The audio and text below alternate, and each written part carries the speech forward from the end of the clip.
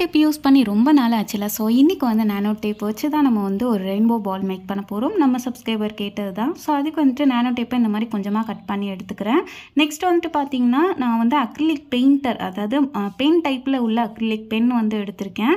So அதை வந்துட்டு நாலு கலர் தான் மொத்தம் இருக்குது ஸோ ஒரு வரிசையாக ஒவ்வொரு கலராக வந்துட்டு அந்த நானோ டேப்பை திருப்பி வச்சுட்டு இந்த மாதிரி பெயிண்ட் பண்ணிக்கிறேன். எல்லோ டார்க் க்ரீன் ரெட் அதுக்கப்புறம் ப்ளூ இப்போ அவ்வளோதான் ஃபினிஷ் பண்ணியாச்சு. இப்போ பார்க்குறதுக்கு நமக்கு இப்படி தான் இருக்குது நெக்ஸ்ட் வந்துட்டு இதுக்காக இதுக்காகவே நான் வந்து பம்ப் வாங்கியிருந்தேன். ஸோ வந்துட்டு இந்த மாதிரி சென்டரில் வச்சுட்டு ரெண்டு சைடும் வந்துட்டு ஒட்டி விட்டுட்டு இப்போ பம்ப் பண்ணிடலாம்.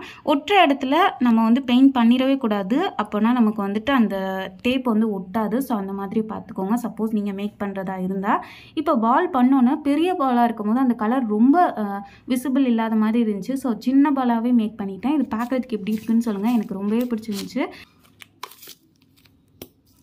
நெக்ஸ்ட் ஏதாவது நானோ டேப்பில் ட்ரை பண்ணலாமான்னு கமெண்ட்